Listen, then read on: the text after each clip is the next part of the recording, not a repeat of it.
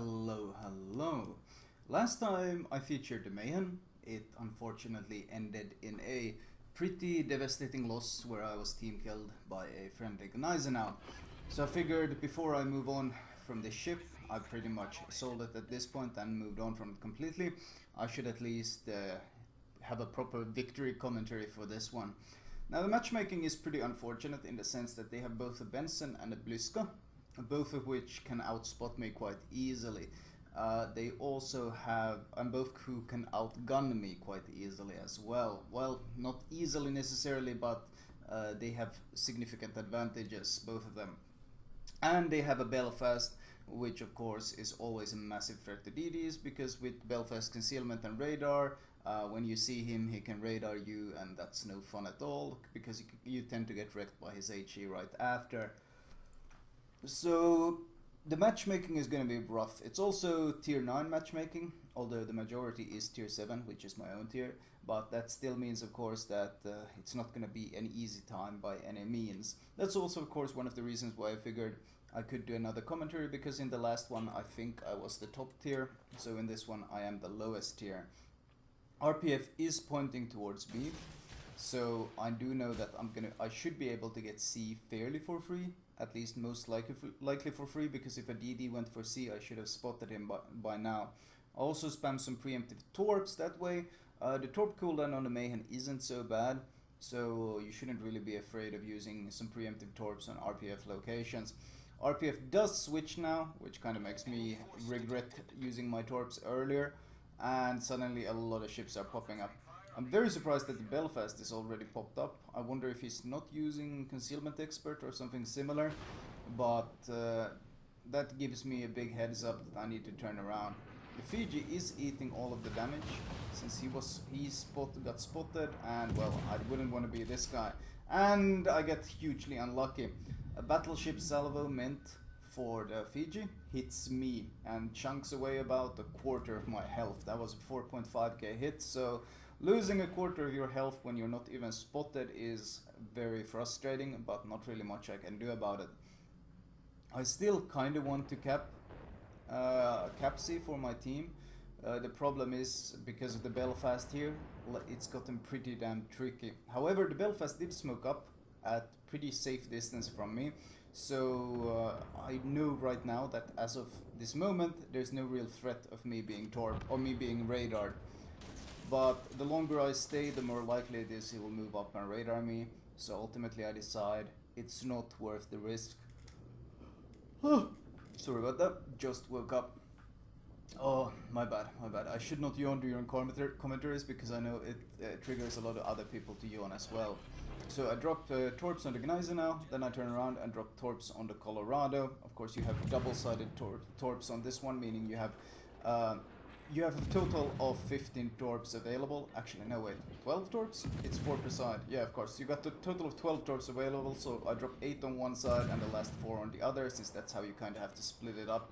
I think my problem is with these torps is that they are very, very slow. As we can see, the torps on the now. they all are too slow to actually catch him, so he's able to dodge them all. So, uh, what started pretty awkwardly, with us losing a Fiji, with matchmaking being terrible, and me getting randomly hit for a quarter of my health, uh, seems to keep going in the bad direction as of this point. A Cyclone is about to hit though, and the Cyclone isn't really that big of a deal for a Mahan. I mean, if you run the Concealment Expert, as I highly, highly recommend, you got 6.9 km concealment, so you are able to outspot everything besides, well, DDs in, uh, in those issues. We do get a bit lucky here, uh, the enemy Bliska detonates from our Belfast, but we're still down quite a lot. We've only gotten one kill, they have two kills. Oh, Colorado gives broadside. In case New Mexico, Colorado, any of these ships that with a lot of superstructure give you broadside, switch to AP. You can see the sheer amount of damage I'm doing with this AP. It's very, very heavy damage and it's constant fairly consistent and uh, this Colorado is basically just melting to this AP fire. He's got so much superstructure to hit that it's pretty easy to farm him with AP. And I think this guy's going to die. Yeah, don't even have time for my torps to land, which is unfortunate. Calling a target on the Belfast, I'm getting ready to move in case he radars me. But I hope my team is focusing him because getting rid of the Belfast would be a huge advantage for us. Because if the Belfast is gone, then I can actually push in and capture this point, and we really need a cap. The enemy has A, uh, we are getting B, but getting C would help us a lot since we are still behind on points. I use HE instead of AP here because I want to keep want to keep him on fire so that he remains spotted. He is, however, shooting in the open, which is really really strange because well, with as many ships as we have on our team, that's not very intelligent. I think he was trying to reposition and re-smoke, but he gave broadside to a lot of people and got punished in the process. So the, now the enemy team has kind of well, pretty much pussied out at this point. There's no real uh, other way of putting it. All their battleships have bailed, and uh, well, there's still an enemy Benson somewhere. But if I look at the minimap, I can see that the enemy Benson is pushing into our spawn, and uh, that's of course lucky for me. My team is of course being extremely hesitant to do anything as well, which is pretty surprising considering we outnumber them heavily on this flank. Our entire team is on this flank, but they're all hiding pretty far back, which is strange because uh, if they push together, we could easily overwhelm this flank. However, uh, moving on, the Benson is pushing down into our spawn, which is great for me, because if this Benson was smart, okay, these are target torps, I'm sure I don't eat one unnecessarily. Uh, if the Benson was smart, he would push into B, and then push to C where he could stop our push and he could torp and he could spot me and he could just be a general nuisance. Instead he's pushing into a spawn which is very common. A common player mistake is sailing into the enemy spawn to hunt some single kill or something like that and because he does this move uh, it allows me to secure this cap and it allows my team to kind of push in uh, in a situation where they really shouldn't be allowed to push in like this. So misplay from enemy DD but it's worth noting this kind of misplays are a pretty big deal for us. Now, I kind of want to go in Cap B, but all of these ships, as long as they sail in relatively straight lines, I need to, I want to try to get some sort of damage on them as well to help my team, because uh, I'm pretty sure some of my team at least is going to be sailing into the enemy spawn and uh, take them on. So if I could manage to land some torps on the Friedrich der Grosse, the Friedrich der Grosse of course is a very strong ship, but he has pretty bad, uh, pretty bad torpedo belt, and in general it handles really terribly. So if it's not if it's not running hydro, then uh, even these Mahan torps can cause a significant amount of damage. Also dropping torps on the Gneisenau, well, because once again, when you use one side of the torps, might as well use the other as well to try to keep your torp tubes somewhat in sync. That when one side is available, the other side is as available as well. Gneisenau with some very ambitious torps. I see this constantly. I see this constantly. German battleships and German cruisers using their torps uh, on targets that are 10 km away. And uh, that's because none of them really know how to look at the distance. They, they are all 6 km torps, but none of them know how to like properly evaluate the distance or look, look at the distance of the torps and they keep using them in the weirdest situations. I only land 2 torps, very very minimal damage, but worth noting is that I cause a flooding and it appears he had used his repair so you can see he is continually flooding now. So that's a pretty big deal for my team. We are finally managed to equalize the points. But looking at my Nagato and Colorado, you can see, well, they are still on the 9 line behind the cap. And that's of course a problem. I'm gonna see if I can get some maybe a fire going on this guy. Some additional damage. Turns out I'm the only one spotting him. Or actually no, I think the Cyclone, the Cyclone finally hit. So any uh, luck I would have at getting a fire is probably not gonna work. Yeah, no, the Friedrich Grosse behind me isn't capable of spotting this guy either. So I think it's time to start moving towards B and see if we can get the cap. I am pretty hesitant to move there, mostly because uh, they still have the Fiji there. And Fiji melts DDs. It's brutal the way a Fiji melts a DD. So you really don't want to get too close to one of those because if I do get spotted by him, I will get completely wrecked. Also worth noting the Benson is still sailing around in our spawn, but because they have a Fiji and very little, uh, we have very little battleship backup. There's a plane here somewhere, I'm trying to spot where it is. I can't see it. I do manage to land torps on the Gneisenau though, torps I launched in my smoke. And, well, he looks pretty damn dead. Popping speed boost, and well, he's gonna get melted, I think, by my teammates. But I'm gonna see if I can get some fires burning on him, or maybe finish him off since he's so low. Nope. He gets killed anyway. You notice I did 3000 damage HE, and that's because um, his superstructure was pretty much completely unsaturated. Uh, so that means pretty much anywhere I hit I was going to, going to deal full full damage or full percentage damage that I possibly could. Anyway, moving on to B now, it looks like this Fried de Grosse is on some sort of adventure in their spawn, as is Datago, but we are still behind on points because they're holding this cap, so I'm going to see if I can help my Belfast out a bit. He is pushing in against the York, which I don't recommend though. RPF is pointing to the to the right here. I'm gonna see if I can drop torps before I go there. York manages to get killed. Oh, and here we have the Friedrich Grosse, exactly as I hoped. He was pushing this way, so I drop my torps on him, and I hope to get behind the island, and I hope to actually make sure he's undetected. Because when you're undetected as a battleship, you think you're completely safe, so maybe he won't pay too much attention to being briefly detected like he was, and will happily keep sailing in a straight line.